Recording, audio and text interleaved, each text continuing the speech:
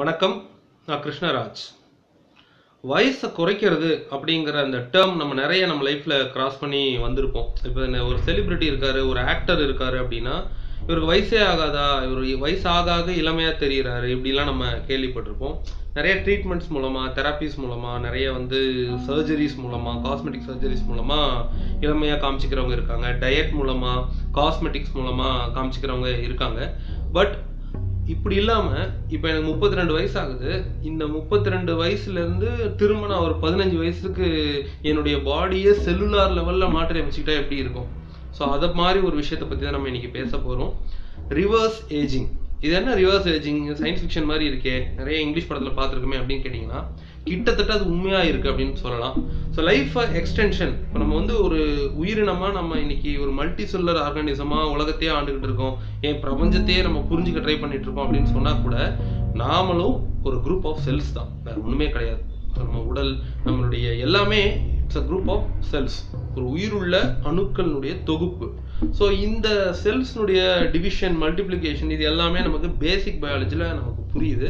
ஆனால் ஒரு ஒரு உயிரினங்களுக்கும் ஒரு ஒரு ஸ்ட்ரக்சரல் அண்ட் ஃபங்க்ஷனல் யூனிட் வந்து செல்ஸ்ன்னு சொல்கிறோம் அதில் ஒரு செல்னுடைய ஏஜிங்க அந்த அந்த செல் வந்து எவ்வளவு நாள் வந்து உயிர்ப்புடன் இருக்கும் அது இறந்து போகிறதுக்கு எவ்வளவு நாள் ஆகும் அப்படிங்கிறத கண்டுபிடிக்கிறதுக்கு பயோடெக்னாலஜியில் ஒரு யூனிட் வச்சுருக்காங்க. அது பேர் டீலோமியர்ஸ் இந்த பிக்சரில் பார்க்கலாம். இதெல்லாம் தான் டீலோமியர்ஸ் அப்படின்னு சொல்கிறோம் ஸோ இந்த டீலோமியர்ஸை வச்சு ஒருத்தருடைய லைஃப் எக்ஸ்பெக்டன்சியை நீங்கள் கண்டுபிடிச்சிடலாம். இப்போ ஒரு குழந்தை பிறக்கும் பொழுதே ஒரு எக்ஸாம்பிளுக்கு சொல்றேன். ஒரு சின்ன ஒரு குழந்தை ஒரு சிசுவா பிறக்கும் பொழுதே நம்மளால அந்த உடல்ல இருந்து டிஎன்ஏவை செப்பரேட் பண்ணி அதுல இருந்து டீலோமியர்ஸை செப்பரேட் பண்ணி அந்த குழந்தை தோராயமா ஒரு அப்ராக்சிமேட்டா ஒரு எக்ஸாக்ட் டேவை நம்ம சொல்ல முடியாதுன்னா கூட எவ்வளோ இயர்ஸ் எந்த ஒரு மெட்டபாலிக் இல்னஸும் இல்லாம உயிர் வாழும் அப்படிங்கறத நம்மளால கணிக்க முடியும்.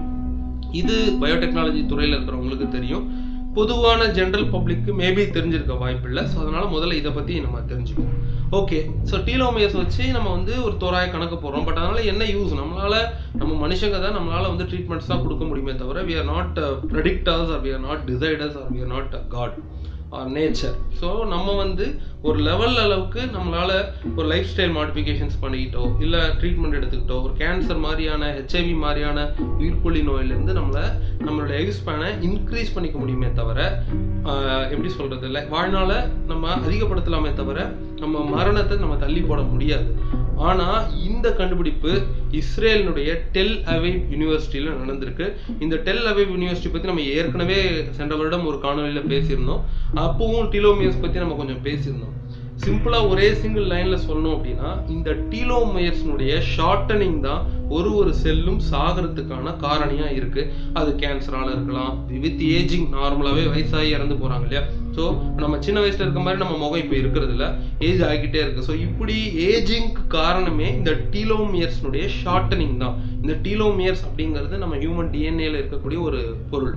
ஸோ அந்த டீலோமியர்ஸ்னுடைய குறுகல் ஷார்டனிங் தான் நம்மளுடைய ஏஜிங்க்கு காரணம். ஹேவிங் செட் தட் இந்த டீலோமியர்ஸோடைய ஷார்ட்டை நீங்கள் குறைக்க முடிஞ்சாலோ இல்லை அதை லென்த்தன் பண்ண முடிஞ்சாலோ நம்மளால நம்ம வயசை அப்படியே நம்மளால மெயின்டைன் பண்ண முடியும். ஃபார் எக்ஸாம்பிள் ஒரு ஐம்பது வயசு ஒருத்தர் இருக்காரு அப்படின்னா அவருக்கு இப்போ நான் சொன்ன இந்த ரிவர்ஸ் ஏஜிங் டெக்னிக் மூலமா இந்த ட்ரீட்மெண்ட் மூலமா அவரை வந்து அந்த ஐம்பது வயசுலயே அதாவது தியரட்டிக்கலாக பார்த்தீங்கன்னா அவருக்கு ஏஜ் ஆகிட்டு வரும். அவர் பிறந்த நாளை வச்சு அந்த டைம்லேருந்து கால்குலேட் பண்ணும்போது அவருக்கு வயசு கூட்டிகிட்டு வரும். ஆனால் பார்க்குறதுக்கு உருவம் அந்த செல்லுலார் ஸ்ட்ரக்சர் அப்படியே இருந்ததுன்னா அப்படி இருக்கும்? இதுதான் இப்போ உண்மையாக இருக்கு.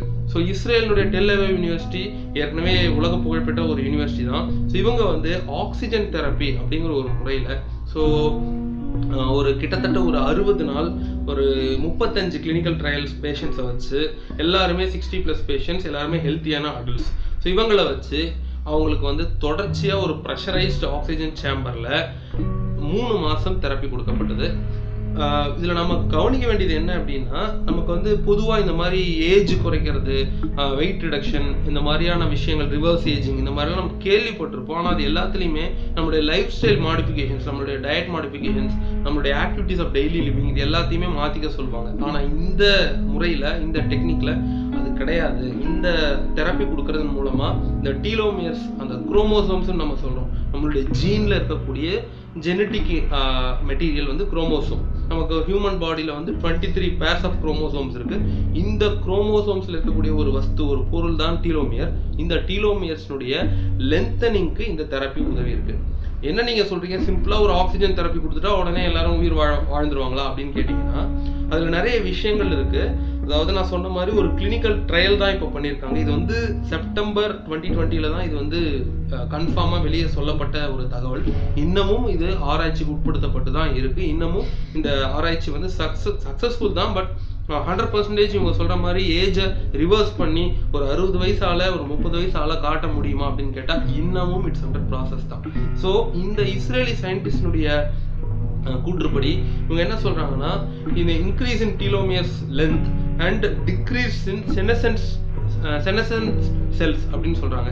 இந்த செல்ஸ் தான் நம்மளுடைய ஏஜிங்க்கும் நம்மளுடைய மரணத்துக்கும் காரணமானது அப்படின்னு சொல்கிறாங்க சிம்பிளி ஒரு ப்ரெஷரைஸ்டு ஆக்சிஜன் சேம்பருக்குள்ள ஒரு ஹெச்பிஓடின்னு சொல்கிறாங்க hyperbaric oxygen therapy so இந்த ஹைப்பர் பேரிக் ஆக்சிஜன் தெரப்பி ஒன்றும் மருத்துவ உலகத்துக்கு புதுசு இல்லை.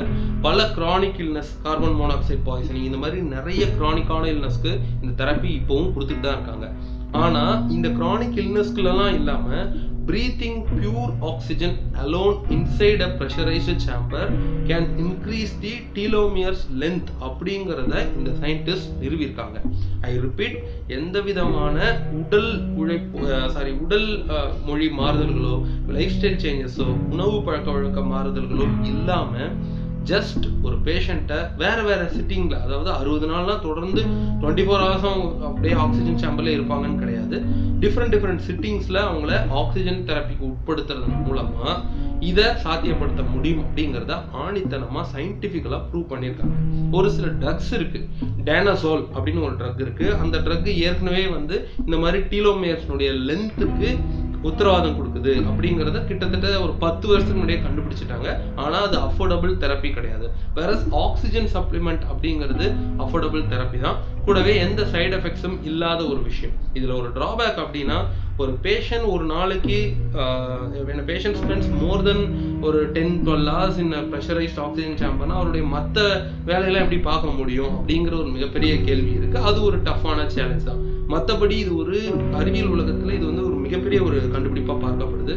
மேபி பயாலஜி தெரியாதவங்களுக்கு இது ஒரு புரியாத விஷயமா இருக்கலாம். சிம்பிளி இதை வந்து ஒரு சொல்லணும் அப்படின்னா இது ஒரு ஜீன்ஸ் சம்மந்தப்பட்ட ஒரு விஷயம் அப்படின்னு நம்ம புரிஞ்சுக்கலாம். ஒரு ஜெனட்டிக் எடிட்டிங் டூல் இருக்குது கிறிஸ்பார் அப்படின்னு. C R I S P R so age ஆக ஆக ஆக நம்மளுடைய செல்ஸ் வந்து வளர்ந்து ஒரு ஸ்டேஜில் இறந்து மறுபடியும் புது செல்ஸ் வந்து இப்படி தான் நம்மளுடைய மெட்டபாலிசம் நடக்குது. ஸோ கேன்சர் மாதிரியான உயிர்கொல்லி நோயில் அந்த புது குரோத் செல் நடக்கும்போது கேன்சர் மற்ற புது செல்ஸ்க்கும் பரவி டக்குன்னு பேஷண்ட் இறந்துடுறாங்க. ஸோ இந்த தெரப்பி மூலமாக டீலோமியர்ஸோடைய லென்த்தை இன்க்ரீஸ் பண்ணோம் அப்படின்னா அந்த பேஷண்ட்டுடைய வாழ்நாளை நம்ம எக்ஸ்டெண்ட் பண்ண முடியும். அகைன் ஐ ரிப்பீட் ஒரு சின்ன ஒரு ஒரு டுவெண்ட்டி ஃபைவ் இயர்ஸில் இருக்கிற ஒருத்தரை ஒரு ஒரு சாரி ஒரு ஃபிஃப்டி இயர்ஸில் இருக்கிற ஒருத்தரை ஒரு டுவெண்ட்டி ஃபைவ் இயர்ஸ் ஒரு யங் மேனாக கூட காட்ட முடியும் அப்படிங்கிறத இந்த தெரப்பியினுடைய ஸ்பெஷாலிட்டி இது வந்து அட்வர்டைஸ்மெண்ட்லாம் கிடையாது. கண்டிப்பாக இப்படி ஒரு விஷயம் இருக்குங்கிறத ப்ரொபகேண்டா பண்ணுறோம் அவ்வளோதான் ஸோ இதை பற்றி நீங்கள் தெரிஞ்சுக்கணுன்னா ரிவர்ஸ் ஏஜிங் அப்படின்னு கூகுள் பண்ணுங்கள் ரிவர்ஸ் ஏஜிங் இஸ்ரேலி சயின்டிஸ்ட்ஸ் அப்படின்னு கூகுள் பண்ணுங்கள் ரிவர்ஸ் ஏஜிங் டிலோமிரஸ் அப்படின்னு கூகுள் பண்ணுங்கள் இன்னொரு யூனிக்கான சிந்தனை துண்டு புது காணில் சந்திப்போம். நன்றி.